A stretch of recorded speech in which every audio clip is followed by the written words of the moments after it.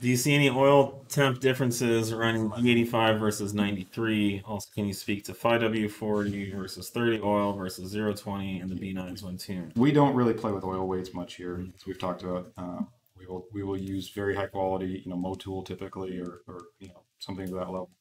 Um, Usually, oil- if it has the OEM, uh, it- you'll see the. VW, I think Yeah. five hundred four point two Yeah. or something on these, or something, something like standard.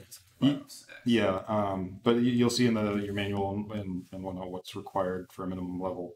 Um, as far as temperatures, sure, you will see different temperatures depending on the calibration. E85 is going to push more power through the motor. You're going to be making, you know, overall um, more load, more, you know, potentially more heat. So yes, you you can you can see It also runs more timing. it runs more timing, so the, So the actual combustion less- charge is cooler, Yeah. um, but it's offset by being a greater, you know, amount of Mhm. gas being combusted. So it's it's it can and will change depending on on uh, octanes and tunes and how you're driving for sure.